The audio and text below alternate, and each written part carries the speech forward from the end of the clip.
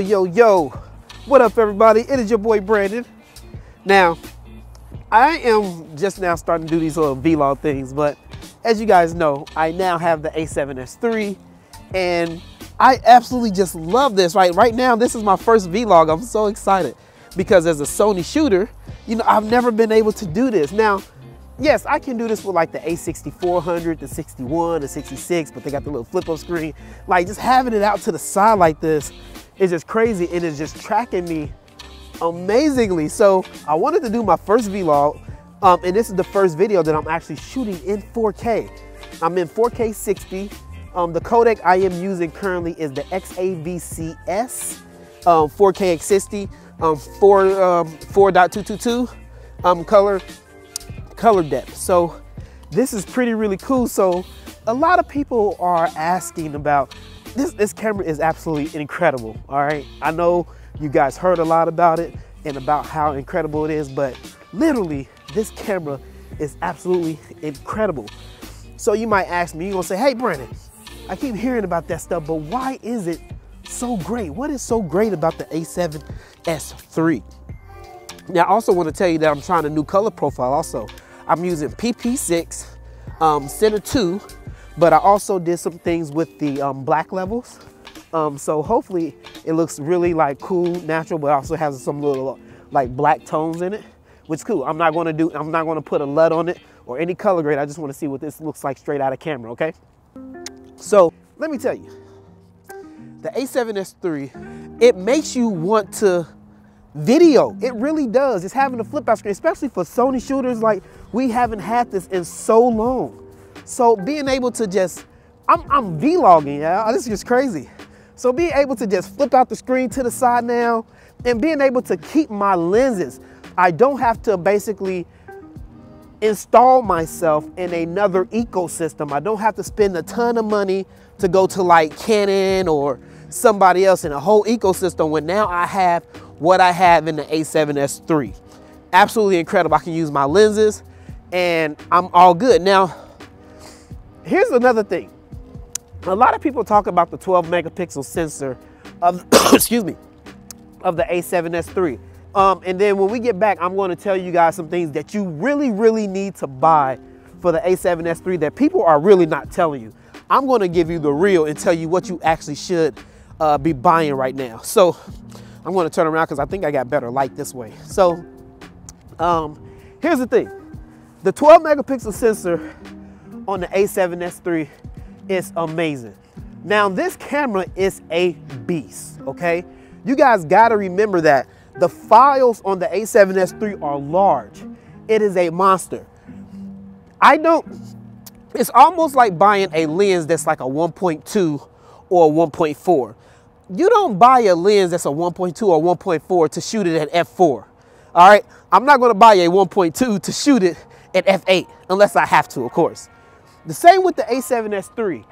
Since Sony shooters now have 4.222, because we, every other codec, every other camera that we've always had has always been 4.2, 8-bit 4.20. This is the first time ever that we have had the color codec, the, the, the in-depth um, 4.222 color depth to get us more vibrant, beautiful colors. And that is really big for Sony shooters. Um, so that is really, really important. But these files are already big. I don't care if you shoot in All-I. I don't care if you shoot with the new 8. Um, H.265 codec, uh, codec in the XAVC-HS. I don't care if you even shoot in 4K, uh, the XAVC-S, which is what I'm shooting in right now. It is, the files are going to be big, all right? The four and like I said, I'm not getting this camera to shoot in 4.208. I'm not getting this camera to shoot in 8-bit 420. All right, I'm getting it because I finally have the liberty to shoot in 422. So I'm going to shoot and get that range of color depth in 422. So, um, also I'm using active stabilization right now. And here's another thing.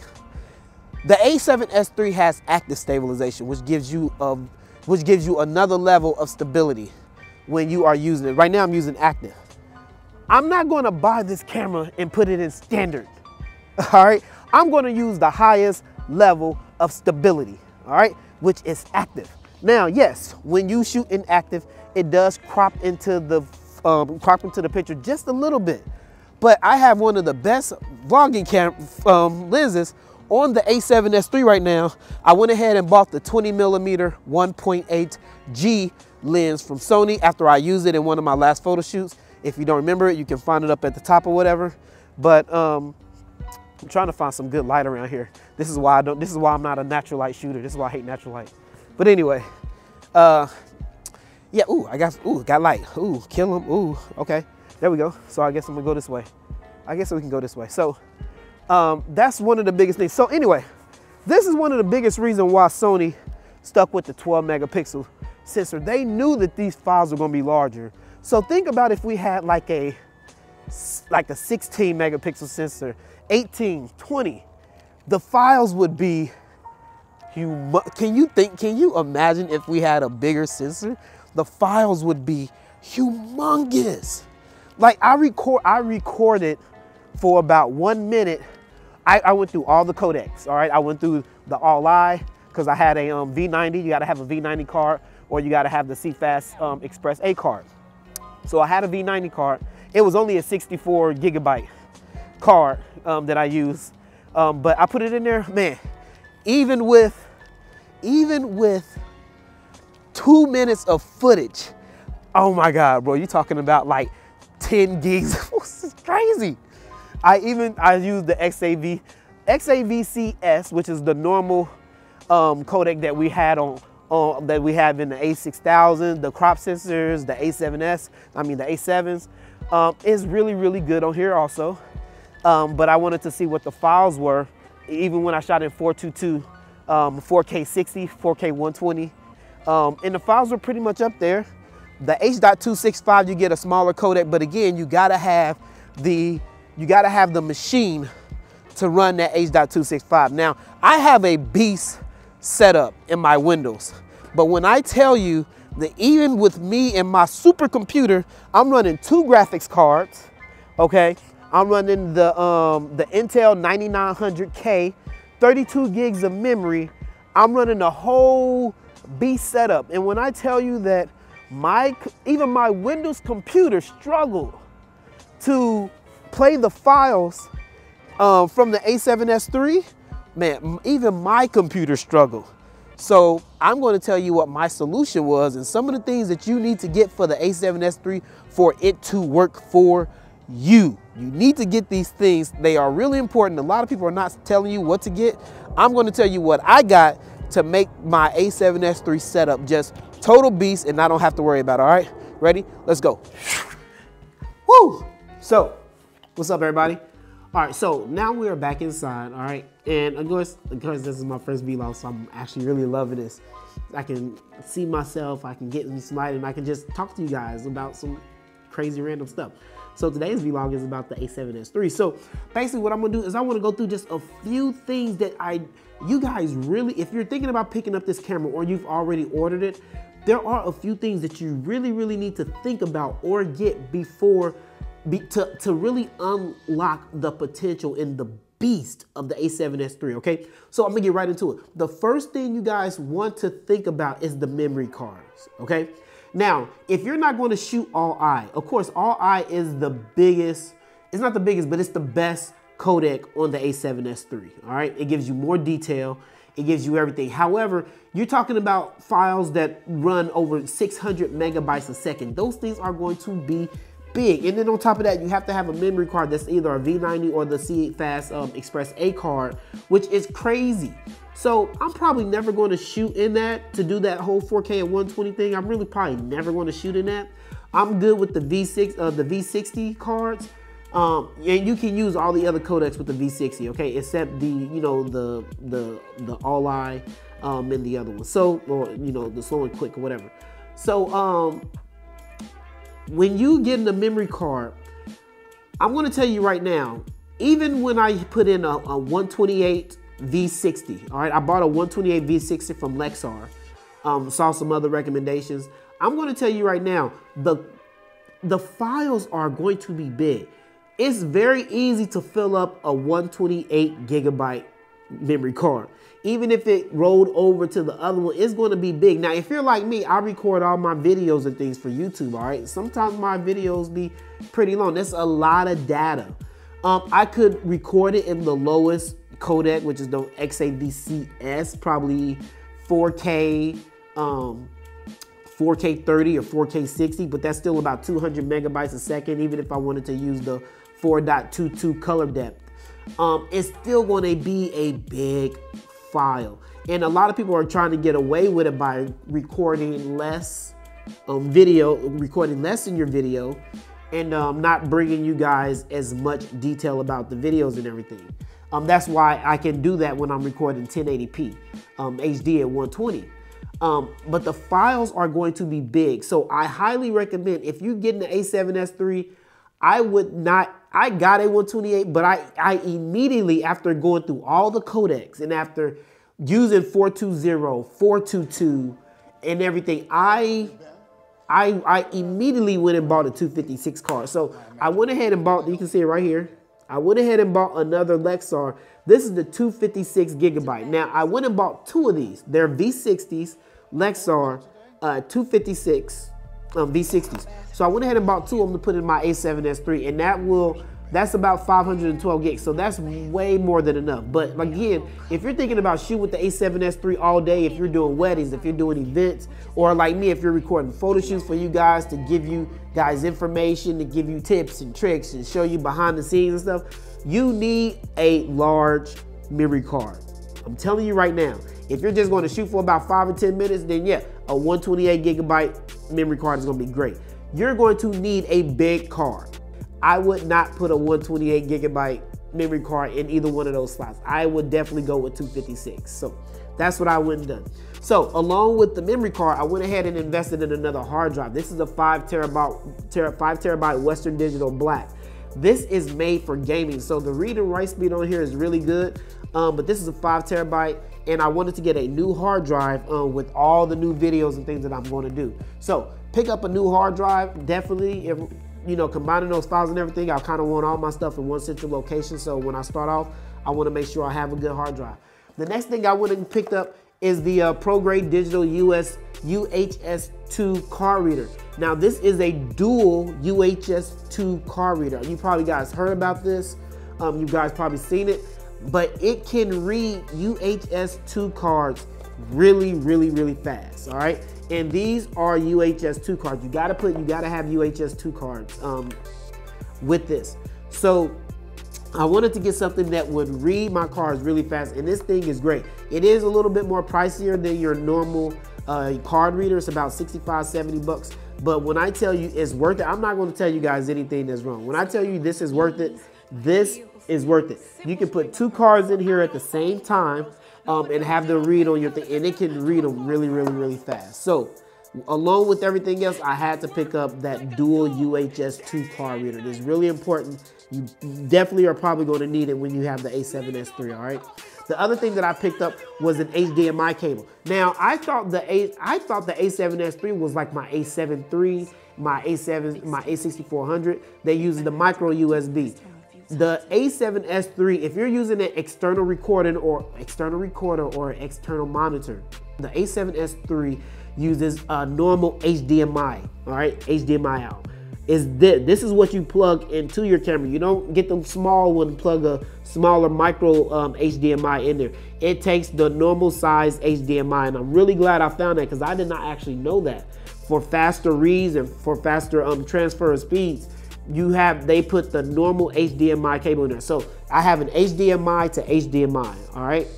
HDMI to HDMI. So if you're if if I hook up my Atomos Ninja to this, um, put this into the Atomos Ninja, put the other side into the A7S III. But you need two um, HDMI's on each side, all right? Not a micro HDMI. That's really important.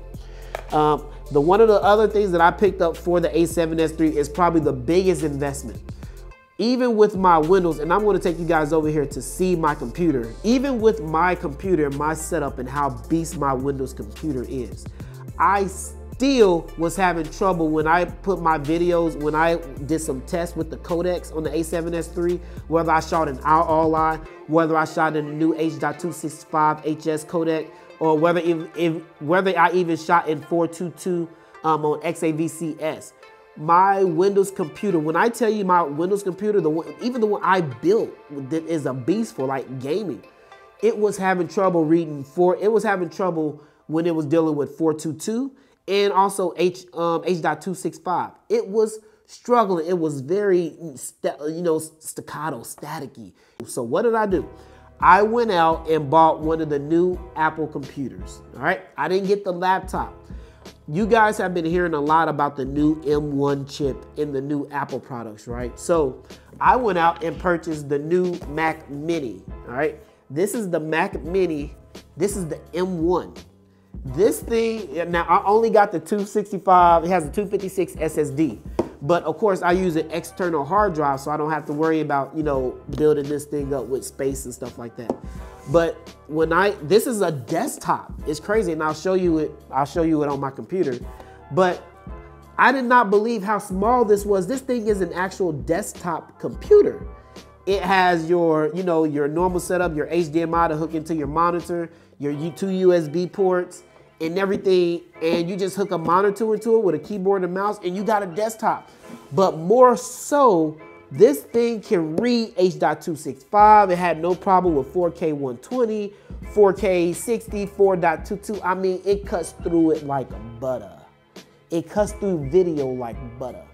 And I was I was I was using Final Cut Pro because I sometimes use Camtasia. I use Premiere Pro, and I moved over to Final Cut Pro um, 10. And when I put that video, when I put that footage in Final Cut Pro, no matter how big that file size was, this thing read it with no, I mean, I was probably only using 15, 20% of the capacity of the M1 chip and it read it like crazy and it does it like butter. It, reads, it reads the 4K with no issues at all. And I was, this right here, amazing investment. Everything that I'm showing you guys from the memory card to the to the hard drive to the nano, this is a nano the nano um, cord for HDMI to the uh, UHS-2 card reader. I'm gonna put this all down there. This setup right here will make your will make having your A7S III a dream. These are all the things you one, two, three, four, five. These five things right here, the five things that you need in order to make your A7S III a dream is all right here. The last thing, now this is optional, of course. I'm not to tell you that you need this, but the other thing that I picked up is this. The lens that I'm recording you on right now, this is the new um, Sony 20 millimeter 1.8G. This is a perfect vlogging lens. Did you see the distance I was when I was vlogging outside? Um, I'm pretty close to you right now, but this is an amazing vlogging lens. Now I can vlog, guys.